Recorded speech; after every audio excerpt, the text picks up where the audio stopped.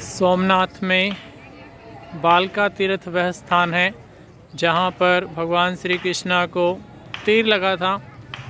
और भगवान जैसे हम देखते हैं कि युद्ध में भी हँसते रहे, हर परिस्थिति में वो हँसते हँसते अपने जीवन को जिए। इसी प्रकार से हम देखते हैं, जब उनको तीर लगा, तब भी वो हंस रहे थे। और अपने स्वरूप में प्रतिष्ठित हैं। तो ऐसा ही हमारा जीवन हो।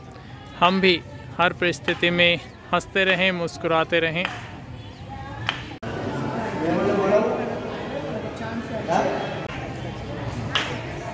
हम हैं सोमनाथ में और सोमनाथ में यह स्थान है बाण गंगेश्वर शिवलिंग, जहाँ से जरा द्वारा बाण छोड़ा गया था, जो कि भगवान श्री कृष्णा के दाएँ पैर में लगा था।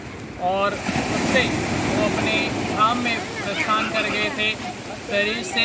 हिरण नदी है ये, जिसके किनारे पर भगवान श्री कृष्ण का देह संस्कार हुआ था।